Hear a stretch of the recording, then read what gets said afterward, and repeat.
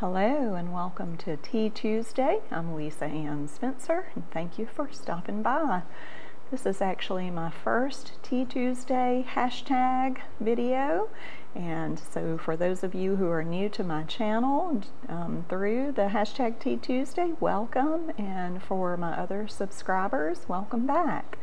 If you're interested in listening to me talk about tea, one of the teas that I make, then stay tuned.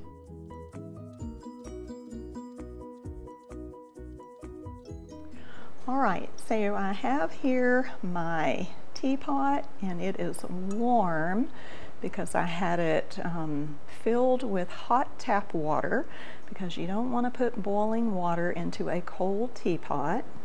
I have my loose leaf tea that I'm going to be using today. This is called Mountain Gold. It is a rooibos, which is not actually a tea.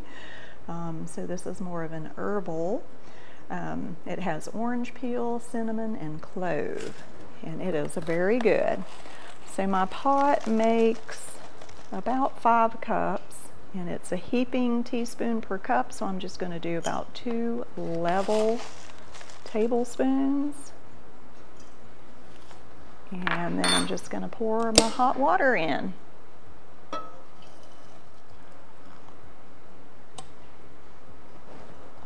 Put the lid on and let this steep for about five minutes. I can see my clock across from me. I'll keep an eye on that. And meanwhile, I'll just tell you a little bit about this particular tea set. You can see behind me I have a few others that I have collected over the years. Now I personally am not a collector of things, but this is an exception because these belong to family members, so they have special meaning to me and to our family. So this particular tea set, here is the original piece, which is my husband's great-grandmother's sugar bowl. The pattern is called Homer Laughlin. That's the maker, and the pattern name is Priscilla, and the style is called Republic. So let me hold it up and you can see the shape is this octagon shape. So it's very unique.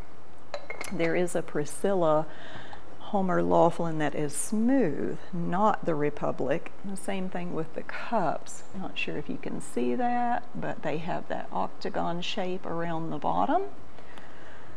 So the sugar bowl came to my husband about 20 something years ago and as I was researching to find out more about the pattern, what the age of the sugar bowl might be, and by the way, it's from the 1940s, so someone must have gifted it to her late in her life. Um, but anyway, I don't know if she had the complete set. Um, all we know is that the sugar bowl was what, what came to us, and it has a tiny little chip on it. Um, my husband's mother and grandmother said they remember it always being on the table and filled with sugar for their coffee say when I saw that um, these were still available, like on eBay or replacements.com, where people um, were getting rid of them that didn't want them any longer, I was able to pick up the other pieces and make a complete tea set. So that's what I have here today. Um, I have these little small, not dinner plates, but we called a salad plate, and I have my jam and bread and my daily square of chocolate. I have the creamer and it is filled with heavy cream because that's what I like in my tea. I showed you the cup already and I don't use the sugar bowl because I don't take sugar in my tea. I take honey. So I brought along some honey here and also a tea strainer. Now here's a really pretty one that my husband got me for Christmas many years ago. And then here is a practical one. I really prefer the practical one. Um, this one tends to get stopped up and overflow. Right, so what I will do is go ahead and put my honey in my cup. And I only use just a little. I'm actually not going to measure it out, but it's going to be about half a teaspoon. I'm going to lay my strainer over my cup and carefully pour the tea through the strainer.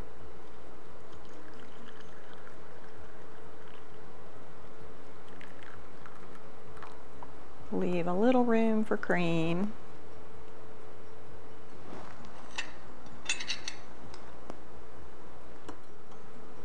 Give it a stir and cream. Really, I like cream in everything. Give it a stir again. And it's going to have to cool for a bit because it's really hot. All right, so while I'm here with you today, I thought that I would talk a little bit about um, what I'm doing this week. Um, I know a lot of you ladies, I've been watching Tea Tuesday, and uh, some of you talk about what you read. Um, the month of August for me has been uh, reading the book of Proverbs. I was invited to a Facebook group that I belong to, a women's Bible study, and since August has 31 days, Proverbs has 31 chapters we were asked to post a commentary every day through the month. So I have been a student of the book of Proverbs for over 15 years. I love it, I read it daily. And I have written uh, other commentaries, and I have actually made some YouTube videos on Proverbs. If you're interested in those, you can check out my playlist. But one of the things that I wanted to talk about today is this um, book. It's called the 1718 series. This is just one of many. This one says Galatians, Ephesians, Philippians, Colossians, 1st and 2nd Thessalonians. And let me turn to the back. You can see that it's just a blank journal and I'll show you in the front where I have started. And I write in pencil. You see that. And what you do is you just make your own copy of the books of the Bible. You can do the entire Bible. This was gifted to me by a friend um, and as I said it's called the 1718 series and what that is based on is Deuteronomy chapter 17 verse 18 and if you want to go take a look at that, what you'll see is when a king was appointed in Israel, he was to make himself a personal copy of the law. That would be Genesis through um, Genesis, Exodus, Leviticus, Numbers, and Deuteronomy. Make a copy of the law for himself. So, in doing so, he would become very familiar with the law So, a good Bible study tip is if you, you know, would like to study a book but you don't know where to start, one of the easiest things to do, it's labor intensive, but it's just copy it word for word from your Bible into a notebook. And this 1718 series makes it a lot easier and then it gives you prompts um, for committing verses to memory. So I just thought I would share that with you today over tea. Hmm, that's really, really good.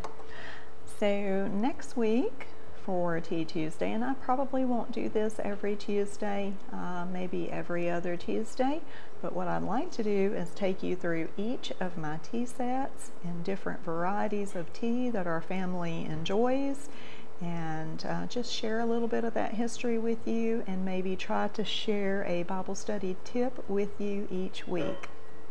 So thanks for tuning in today, and I'll see you soon.